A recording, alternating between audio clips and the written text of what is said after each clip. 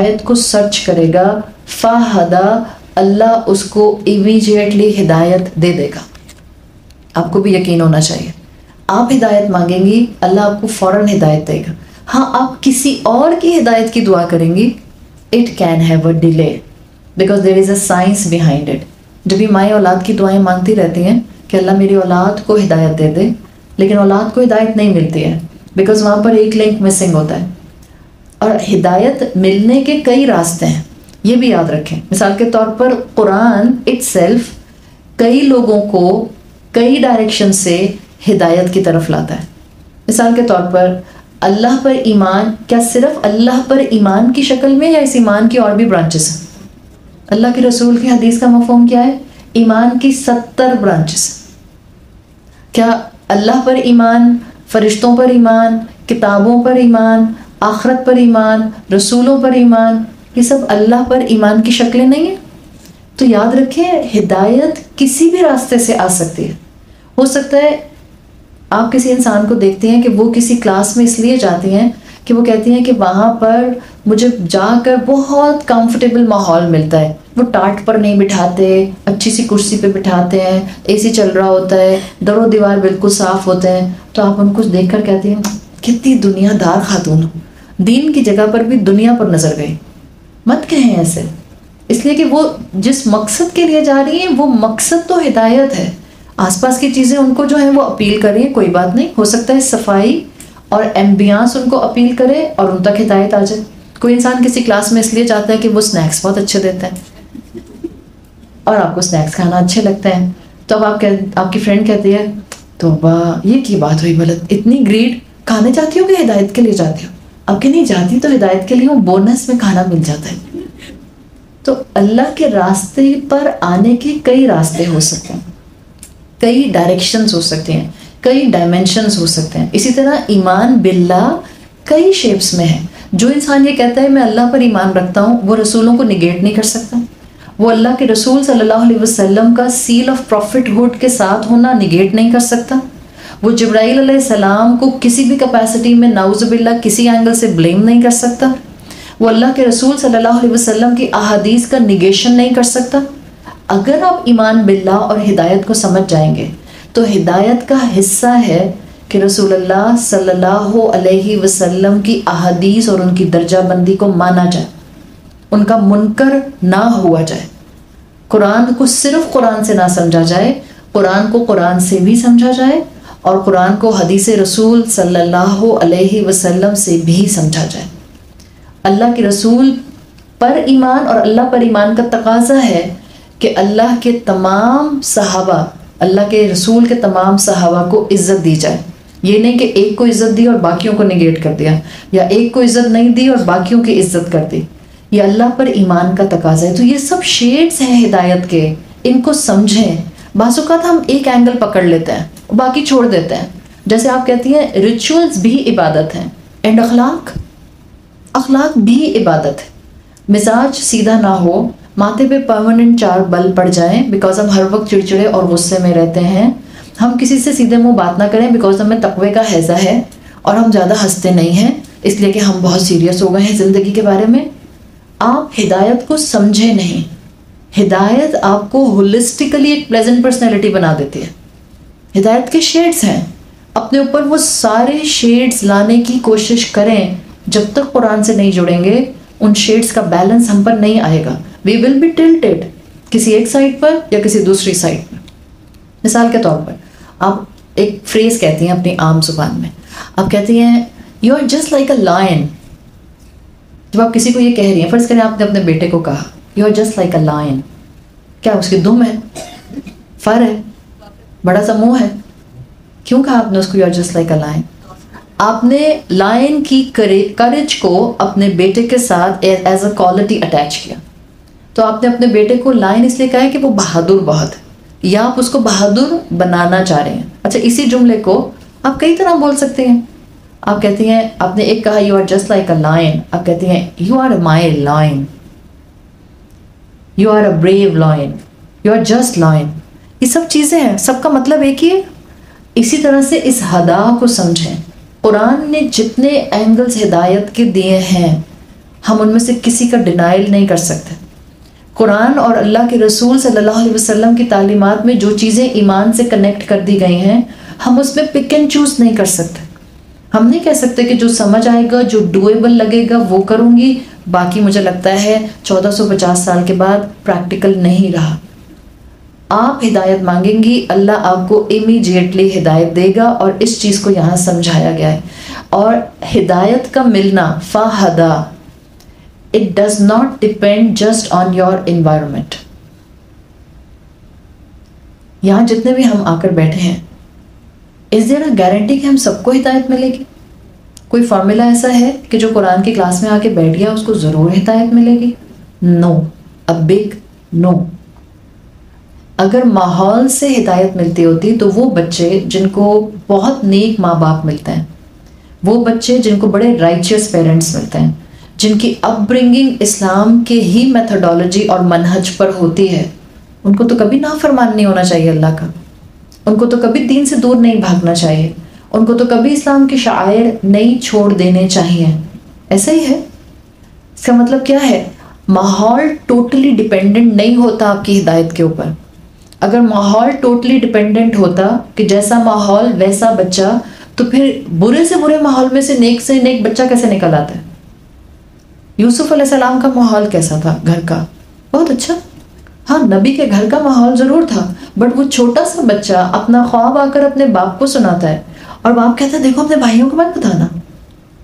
ये माहौल आपको अच्छा लगे इसका मतलब है तेरे some problem in the environment comfortable ideal माहौल नहीं है घर का। और अब्बा ने फिर ना सिर्फ़ ये कहा कि भाइयों को नहीं बताना, अब्बा ने फिर समझाया भी कि देखो, अल्लाह ताला किसी बंदे को चुन लेता है, किसी को ख़ास कर लेता है। Always be conscious of him अल्लाह से अपना ताल्लुक मज़बूत रखना।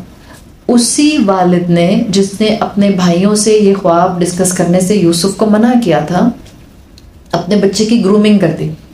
अब ये बच्चा अपने बाप के प्रोटेक्शन से निकलता है।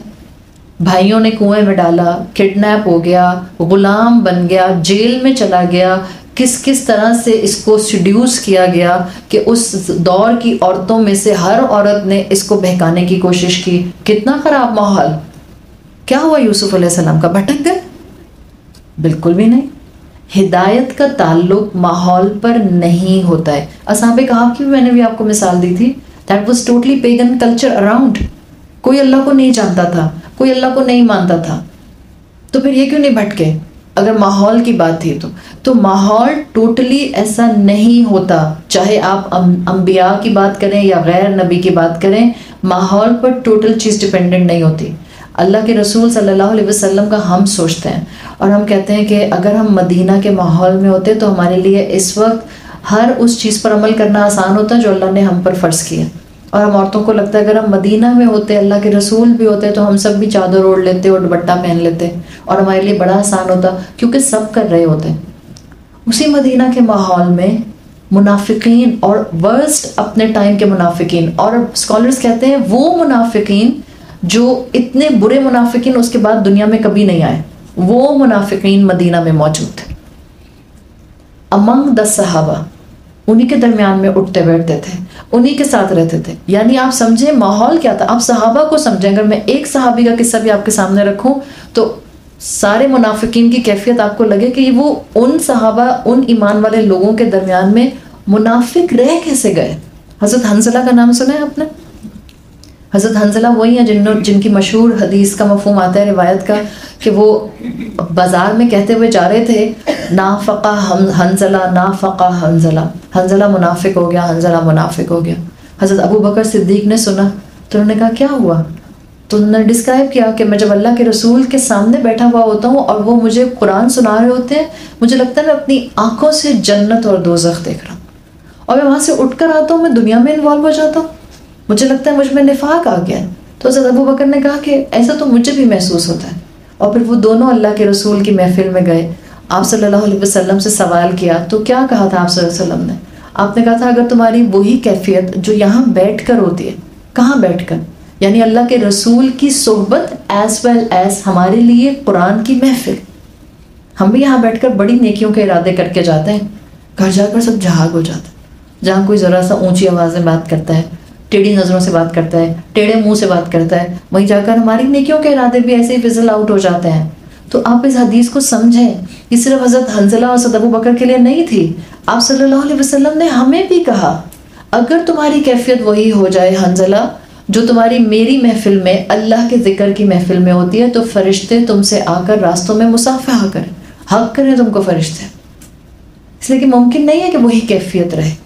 ये इतने ईमान वाले हज़रत हंजला थे और उनको अपने बारे में निफाक का डर था। हज़रत हंजला का इंतकाल कैसे हुआ था? शहीद हुए थे और जंग में शहीद हुए थे। ओहद का वाक़ है, ओहद से एक रात पहले की जो रात थी बदर से एक रात पहले की रात थी। मेरा ख्याल है ओहद या बदर में से कोई एक है, अगर मुझे सही याद नहीं इस वक्त आ रहा but any one of this एक रात पहले इनका निकाह हुआ था। तो अल्लाह के रसूल से इजाज़त लेकर गए थे कि मैं अपनी जोजा के साथ वक्त गुजार कर आ जाऊँ आप सोचें, एक रात पहले निकाह हुआ है और अगले दिन जंग है। हम बेटों को तो भूल ही जाए। सब बेटों की माएँ अपने दिल पर हाथ रख के बताएँ। हम भेजते, हम कहते, दुनिया है जाने के लिए तुम कहाँ जा रहे हो? अभी तो तुम्हारी शादी हुई है। हम इमेजिन नहीं कर सकते उन सहाबा के ईमान का लेवल एट ऑल उस माहौल में रह कर भी मुनाफिक मुनाफिक रह गए। तो आप सोचें, महरूमी का आलम माहौल नहीं डिपेंडेंट होता सिर्फ़। So many other things counts हज़रत हंजला अब अल्लाह के रसूल से इजाज़त लेकर जाते हैं कि मैं अपनी जोजा के पास जाना चाह रहा हूँ। और फिर ये जाते हैं और उनके साथ रात गुजारते हैं। इनको सुबह जल्दी वापस आना था। तो ये फजर कहा जाता है कि फजर की नमाज़ पढ़ कर गए थे और जहर की नमाज़ के बाद प्लान था कि ये जंग का मामला शुरू होगा। फजर की नमाज़ पढ़ कर जाते हैं और अपनी जोजा के साथ अपना जिसमानी ताल्लुक कायम करते हैं और जल्दी में गुसल लिए बगैर आकर मैदान में मुसलमानों के साथ फ़ौज का हिस्सा बन जाते हैं। गुसल लेने का मौका नहीं मिलता, गुसल जनावत। और इसी में इनका, इनको शहादत नसीब हो जाती है, जंग के मैदान में। एक एक रात का दुल्हा हमारी ज़ुबान में। इसी में इनको शहादत हो जाती है। अल्लाह के रसूल सल्लल्लाहु अलैहि वसल्लम उस दिन की शाम में सहाबा से पूछते हैं हंजला को क्या हुआ था? सहाबा कहते हैं, क्या हुआ था या रसूल अल्लाह अल्लाह के रसूल कहते हैं, मैंने हंजला को आसमान और ज़मीन के दरमियान में देखा और फरिश्ते उनको गुसल दे रहे थे। आप सोचें, ये ईमानी कैफियत थी उन सहाबा की और इनके दरमियान में मुनाफिकिन थे। तो माहौल तो बेहतरीन था। और हज़रत हंसला की जो जौजा थी, वो कौन थी? किसी को मालूम है? बीवी इनकी? अब्दुल्ला बिन उबई की बेटी। नहायत मोमिना खातून। अब्दुल्ला बिन उबई के दो बच्चे, एक तो ये बेटी जो हंजला की निकाह में थी और दूसरे अब्दुल्ला जो अब्दुल्ला इब्ने उबई थे। नहायत नेक इंसान, नहायत नेक इंसान। सोचें, अब्दुल्ला इब्ने उबई की बेटी थी ये, रईसुल मुनाफिकीन, जो कि सबसे बड़ा मुनाफिक मदीना का कहलाता था, जिसके ऊपर अल्लाह ताला ने मगफरत पढ़ने से रसूल अल्लाह सल्लल्लाहु अलैहि वसल्लम को रोक दिया था। महरूम रहा था। अल्लाह के रसूल को अपनी आँखों से देखता था। आपकी आवाज़ अपने कानों से सुनता था। आपके सहाबा के माहौल के दरमियान में रहता था और उसको ईमान की वो ताकत नसीब नहीं हुई। तो सिर्फ़ माहौल माहौल सिर्फ़ नहीं रिक्वायर्ड होता। बहुत कुछ और रिक्वायर्ड होता है। हम अपने बच्चों के लिए अक्सर परेशान होते हैं और हम कहते हैं, माहौल इतना ख़राब है कि हमारे बच्चे हिदायत पे नहीं आ पा रहे। माहौल इम्पैक्ट करता है but this is not just environment जो हिदायत के लिए रिक्वायर्ड होता है। इंसान की अंदरूनी कैफियत, इंसान का दिल, उसकी इंक्लिनेशन उसकी विलिंगनेस उसकी चाहत, वो कितना हिदायत को चाहता है। This is the most empowering factor if we want to get the guidance मेरे दिल की चाहत। अल्लाह नहीं देखता मैं किस माहौल में हूँ। अल्लाह नहीं देखता है कि मेरे आसपास क्या माहौल है। अल्लाह नहीं देखता मैं किस मुल्क में हूँ। अल्लाह इंसान के दिल की चाहत देखता है। किस इंसान के दिल में ईमान लाने की तमन्ना है, ये उसूल है जो अल्लाह ताला ने हिदायत के साथ रखा है। जो इसको समझ जाएगा, वो अपनी औलाद के दिल पर काम करने की कोशिश करेगा। बाहर का माहौल हम नहीं बदल सकते, इसका मतलब है हाथ पर हाथ रखने की ज़रूरत नहीं है। हम कहते हैं, पहले दौर अच्छे थे उन दौर के अंदर माँ बाप की बातें औलाद सुनती थी तो फिर औलाद हिदायत पर आ जाती थी। हाँ ये फितनों का दौर है तो ज़्यादा उनके दिलों पर काम करने की ज़रूरत है। आप और मैं बाहर का माहौल नहीं बदल सकते हैं। हम तो पाकिस्तान के हालात नहीं बदल सकते। हम बाहर दुनिया का ग्लोबल माहौल क्या बदलेंगे? फितनों को क्या रोकेंगे? हम तो अपने मुल्क के अंदर अदल कायम नहीं कर सकते। तो हम किस तरह से हैं वो आने वाले फितनों की बारिश से अपनी औलाद को दूर करेंगे? अपनी औलाद के दिलों पर काम करें। ऐसा ना हो कि आपकी औलाद आपसे ही गाफिल हो, बाकी दुनिया को जानती हो। ऐसा ना हो कि आप अपनी औलाद के दिल से गाफिल हो। आपको पता ही ना हो कि आपने किस तरह से उसको अल्लाह से कनेक्ट करना है। अपनी औलाद के दिल की दुनिया पर काम करें। उसके लिए वक्त लगाना पड़ता है। उसके लिए प्यार से बात करनी पड़ती है। आखिरी दफ़ा प्यार से कब बात की थी जब आपने कोई इसको नसीहत नहीं की थी, बस बात की थी। ये ताल्लुक अपना औलाद के साथ कायम करें। पहले दौर में हम अपनी माओ के साथ इतने अटैच क्यों होते थे? वो हमारे लिए अवेलेबल होती थी। अम्मा हमारे लिए अवेलेबल होती थी, और आज की माएँ अवेलेबल नहीं होती हैं। दैट्स द मेन रीज़न अगर मेरा बच्चा हिदायत पर नहीं है, उसको मेरी कंपनी सोहबत की ज़रूरत है। जिसके छोटे बच्चे हैं, उसके लिए ब्लेसिंग है। आप नानी दादी हैं, अल्हम्दुलिल्लाह। अपनी अगली नस्ल के ऊपर काम करें। दिल की चाहत अल्लाह देखता है। इस फाहदा के अंदर दिल की चाहत मौजूद है और इस कॉन्सेप्ट के अंदर एक और बहुत स्ट्रॉन्ग कॉन्सेप्ट मौजूद है। कोई औरत ये ना कहे कि मुझे माहौल नहीं मिला जब मैं अल्लाह की बंदी नहीं बन सकी। फाहदा इमीडिएट होगा।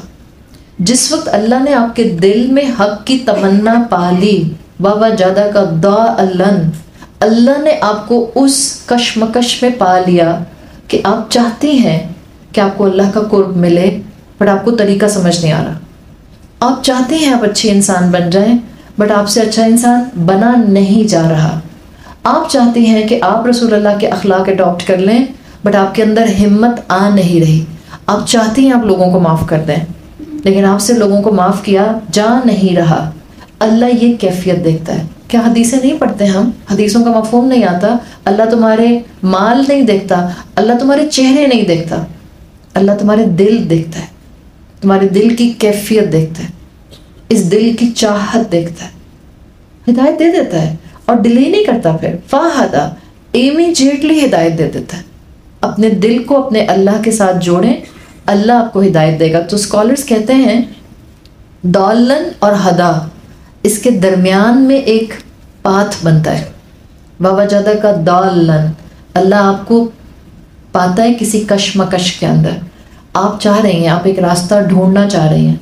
आप किसी न किसी इस वक्त जहनी कोफ्त के साथ, जहनी टर्मोइल के साथ, आप चाह रहे हैं आप अपना इसलाह करें, आप अपने आप को जहनी तौर पर मज़बूत करें। आप अपनी ज़िंदगी में क्वालिटी लेकर आए। तो ये डॉलन से हदा तक के दरमियान में अल्लाह अपने बंदे की विलिंगनेस इंक्लिनेशन रुझान, ख्वाहिश और जज्बा देखता है। ये जितना स्ट्रांग होता है, उतने बड़े लेवल की, उतने वाज लेवल की हिदायत उस बंदे को दे दी जाती है। फिर क्या होता है? हिदायत देने का मतलब विजिबिलिटी क्या होगी हिदायत की? आपका दिल नेकी के लिए खुल जाता है। आपका दिल चाहता है आप नेकी करें। आपको नेकी करना अच्छा लगता है। और नेकी करने में सारी नेकियाँ ले आए। फिर आप उस इंसान को भी माफ़ कर देते हैं, जिस इंसान ने आपके बड़े हक मारे होते हैं।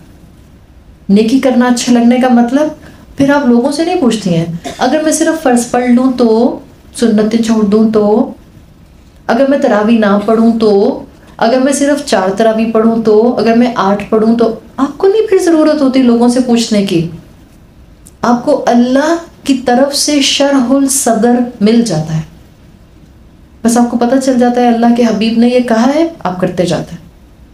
करते जाते हैं और अपनाते जाते हैं और फाहदा की कैटेगरी के अंदर आते जाते हैं। और स्कॉलर्स कहते हैं कि एक ऐसा दिल जिसमें हिदायत आ जाए, अगर इंसान चाहता है कि इंसान अपने दिल को वैसा पाए कि उसके दिल में हिदायत हो, और इंसान चाहता है कि मैं चेक करूँ मेरे दिल में हिदायत है या नहीं है तो वो कहते हैं कि आप चार पाँच चीज़ें मोटी मोटी समझ सकते हैं। आपका दिल चाहेगा कि आप अल्लाह के कलाम के साथ वक्त गुजारें। आप उसके कलाम को समझें। आपका दिल चाहेगा कि आप अल्लाह को राज़ी करने के लिए कुछ करें। आप अपने रब की मारिफत के बाद अपने रब को राज़ी करने के लिए कुछ करें। आप अपनी ज़ुबान को थाम लेते हैं। हिदायत आने की अलामत आपकी ज़ुबानें थम जाती हैं। जब ज़ुबानें थम जाती हैं ना घर के अंदर के माहौल संवरना शुरू हो जाते ज़ुबानें जब संभल जाती हैं तो इंसान रिश्तों को भी एहतराम के साथ फिर मैनेज करना शुरू कर देता है। तो अल्लाह से रबते का दिल करता है, अल्लाह के कलाम को समझने का दिल करता है, ज़ुबान को मोमिन थाम लेता है और मैक्सिमम टाइम अल्लाह के कलाम या अल्लाह के ज़िक्र या अल्लाह की बताई हुई शरीयत के साथ गुजारने की कोशिश करता है। फ़ाहदा की कैफियत एक इंसान की ज़िंदगी में इस तरह रिफ्लेक्ट करती है। तो क्योंकि स्कॉलर्स कहते हैं कि यहाँ फ़ाहदा का नहीं आया, इसलिए यहाँ पर अल्लाह हर एक को हिदायत देता है। ना सिर्फ़ अल्लाह ने अपने हबीब सल्लल्लाहु अलैहि वसल्लम को हिदायत दी, बल्कि स्कॉलर्स कहते हैं आपके उम्मती भी। अगर इसी चाहत के साथ अल्लाह के कलाम के सामने आके बैठेंगे, अल्लाह आपके हर उम्मती को हिदायत देगा। और हम भी इसी चाहत के साथ यहाँ आके बैठे। हम ये, हमारा यहाँ आने का मकसद सिर्फ़ और सिर्फ़ स्पिरिचुअल स्टिमुलेशन नहीं था रमज़ान की, कि हम रमज़ान में थोड़ा सा स्पिरिचुअल हाई ले लें, थोड़ा सा हम ज़्यादा स्पिरिचुअल महसूस करें तो चलो हम कुरान की क्लास अटेंड कर लेते हैं। हम में से हर इंसान का यहाँ आने का मतलब था कि अल्लाह मेरा ये रमज़ान का महीना बेहतरीन गुजर जाए, मुझे थोड़ी हिदायत ज़्यादा मिल जाए, मेरा ईमान थोड़ा ज़्यादा हाई हो जाए। मुझे आपकी कुर्बत ज़्यादा नसीब हो जाए, मुझे आपसे रबता करना आ जाए। हम सब इस मकसद से इस किताब के साथ जुड़े हैं, और जब इस मकसद से जुड़े हैं तो ईमान रखें कि आपका रब आपको खाली हाथ वापस नहीं लौटाएगा। जब उसने अपने हबीब से कहा वजादा का दालन फाहदा तो हम तो उसके सामने गिड़गिड़ा कर मांग रहे हैं कि अल्लाह हम वाकई भटके हुए हैं। हमें ज़िंदगी के अंदर आपकी इतात के पहलू बहुत से एंगल से अपनाने नहीं आते हैं। अल्लाह हमारी इसलाह कर दे। अल्लाह हमें अपने बच्चों के दिलों में आपकी मोहब्बत उंडेलने की हिकमत अता कर दे। अल्लाह हमारे दिलों को हिदायत दे दे। अल्लाह हमें ऐसी हिदायत दे कि जो हिदायत एक दफ़ा मिलने के बाद फिर वापस कभी ना जाए। हिदायत को कभी जवाल ना आए। रब्बना ला तुज़िग़ बना बादा इज़ हदैतना। अल्लाह जब हिदायत की नेमत मिल जाए तो फिर उस हिदायत की नेमत को कभी जवाल ना आए। अल्लाह हमारी औलादों को इस्लाम की मोहब्बत अता फरमाए। अल्लाह हमारे घरों को एक पीसफुल पुरसकून, ईमान वाले माहौल वाले घर बना दे। अल्लाह स्पाउसेस को एक दूसरे के लिए आँखों की ठंडक बना दे। अल्लाह औलाद को वालदेन के लिए आँखों की ठंडक बना दे। अल्लाह बीमारों को शिफाई कुल्ली अता फरमा दे। अल्लाह भटके हुओं को रास्ता दिखा दे। अल्लाह जो बेआसरा हैं, उनको सहारा दे दे। अल्लाह जो माएँ अपने बच्चों के रिश्तों के लिए परेशान हैं, अल्लाह उन औलादों को बेहतरीन घर, बेहतरीन ससुराल, बेहतरीन स्पाउसेस अता फरमा दे। अल्लाह हमारे बच्चों को जहाँ दुनिया की तालीम हमने उनको दिलाई है, अल्लाह हमें हमें उनको इस्लाम की मोहब्बत भी सिखाने की तोफ़ी अता फरमा दे। अल्लाह फ़लस्तीन और कश्मीर के मुसलमानों पर रहम फरमाए। अल्लाह पाकिस्तान को अमानत वाले हुक्मरान अता फरमाए। अल्लाह हमें हमेशा ऐसे माहौल में रखे जिस माहौल में हमारे लिए नेकियाँ करना आसान हो। अल्लाह हमारे दिल को अपनी इतात के लिए खोल दे। अल्लाह हमें शरा सदर अता फरमा कि हमारे दिल में जब हिदायत आ जाए तो हम अपने आप को सिर्फ़ नेकियों के रास्ते पर दौड़ता हुआ महसूस करें। अल्लाह हमें बख्श दे अल्लाह तमाम मरहुमीन को बख्श दे अल्लाह हमारे वालदेन को बख्श दे अल्लाह हमें अपने वालदेन के लिए और हमारी औलादों को हमारे लिए बेहतरीन सदक़ जारिया बना दे। सुबहानक अल्लाहुम्मा व बिहम्दिका नशहदु अल्लाह इलाहा इल्ला अंता नस्तगफिरुका व नतूबु इलैक। जज़ाकल्लाहु खैरन।